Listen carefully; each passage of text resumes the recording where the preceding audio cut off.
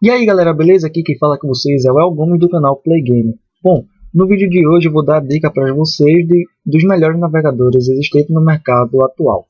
Bom, o primeiro deles é o ZBrush. ZBrush é uma ferramenta muito profissional para modelar e esculpir seus modelos. Também dá para criar texturas a partir da sua biblioteca de imagens e materiais dos próprios ZBrush. Existe também o Sculpture. O Sculpture é um modelador e é, dá para esculpir vários modelos, dá para texturizar também e é uma forma muito rápida de modelar, idêntico ao ZBrush.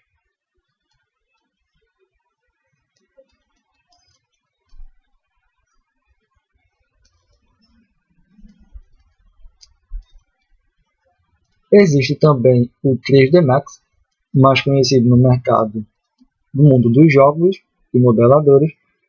Ele dá para tanto modelar quanto esculpir. Muito profissional essa ferramenta, além de ser pago. Eu gosto muito.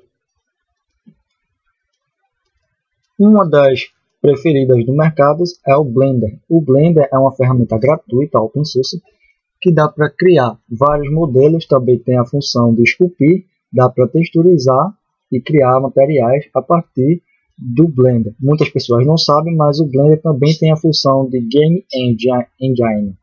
Você pode criar seus próprios games simples dentro do Blender. É uma ferramenta bastante profissional por ser gratuita e open source.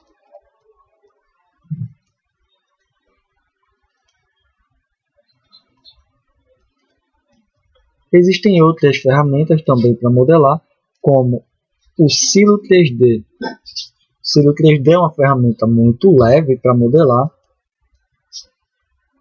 Dá para você esculpir,